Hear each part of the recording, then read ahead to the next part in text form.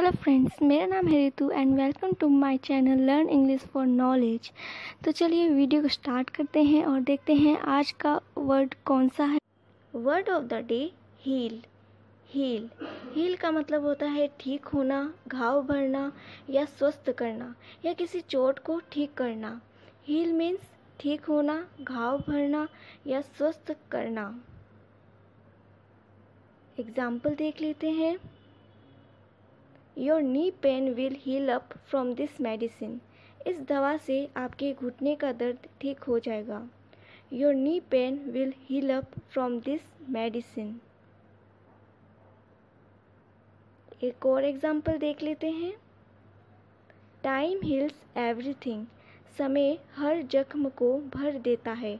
मतलब जैसे जैसे समय बीतता है, सब कुछ ठीक हो जाता है। Time heals everything